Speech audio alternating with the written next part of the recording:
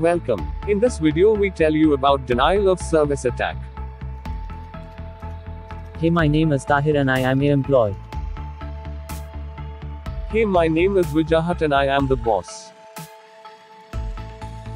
Sir, our website devices and networks is not working properly. It was crashing again and again and it was overflooded. Our users will not be able to use our website.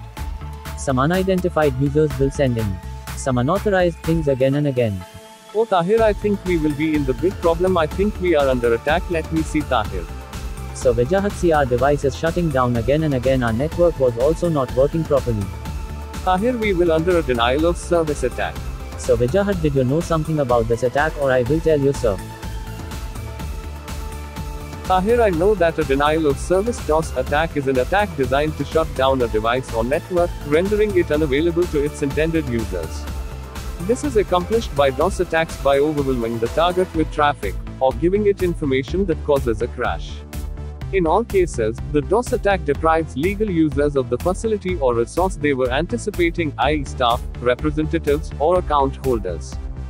DOS attack victims also threaten high profile associations web servers, such as financial, trade, and media firms, or government and trade companies. While DOS attacks normally do not result in fraud or destruction of valuable data or other assets, they will cost the victim a great deal of time and resources to deal with them. Yes, sir, you are right.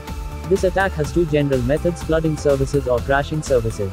If the device encounters too much traffic for the processor to buffer, flood attacks occur, forcing them to slow down and end gradually. Common attacks against floods include buffer overflow attacks. In this buffer is filled by this form of attack with more data than it can hold. This allows the buffer to leak and corrupt the information in its hands. Sending emails with file names that have 256 characters is an example of a buffer overload. ICMP flood, a type of DOS attack that sends spoofed data packets that reach any machine in a targeted network, taking advantage of misconfigured network devices, is also referred to as a ping flood. SYN flood sends a request, but never completes the interaction, to connect to a server. It proceeds until all open ports are filled with requests and no requests are able to connect to legal users. Crash attacks occur less frequently, as vulnerabilities that exploit weaknesses in the targeted device are spread by cybercriminals. Outcome crashes the machine. Crash attacks and flood attacks block legal users from accessing online resources such as blogs, game pages, emails, and bank accounts. Here we have to download security softwares which can help us to minimize the risks of such attacks. So Vijahat we have to block all traffic coming from an attacker by defining his IP. We can use firewalls to avoid DOS attacks and via the access control list, routers may be programmed to restrict network access and drop alleged unauthorized traffic. Tahir, we have to download or create anti-DDoS programs. This will help us to distinguish between legal network traffic spikes and a DDoS attack.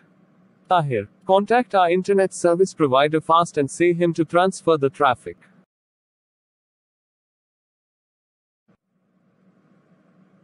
Sir, I have talked to internet service provider and they will help us. It is a smart thing that we have a backup of ISP. Consider utilities, too, that can spread the vast DOS traffic between a server network. That can help make an attack unsuccessful. Investigate the routing of black holes. Black hole routing may be used by internet service providers. It directs unnecessary traffic, often referred to as a black hole, through a null path. This will help avoid a collapse on the intended website or network. The downside is that all lawful and unlawful traffic is diverted in the same manner. Configure routers and firewalls to reject fake traffic. Firewalls and routers should be configured. Mind to keep the new security updates updated on our routers and firewalls. Consider hardware for front end until traffic enters a node. Device front end hardware that is built into the network can help to evaluate and screen data packets. When they enter a device, the hardware classifies the data as priority, normal, or hazardous. It will help to block threatening details as well. So Vijat I know some tools which they use for doing this type of attacks. Oh nice Tahir tell me something about this softwares or tools. Sure Sir Vijahat. Nemesy Sir this method is used to create random packets land and LaTierra this method can be used to spoof IP and open TCP connections Panther this tool can be used to overflow UDP packets into a victim's network. Botnets are a collection of hacked internet machines that can be used to carry out a distributed denial of service operation and so on. Well, Tahir, I hope you have learned something from this attack. Yes sir Vijahat, I have learned many things from this attack. Thanks for watching our video.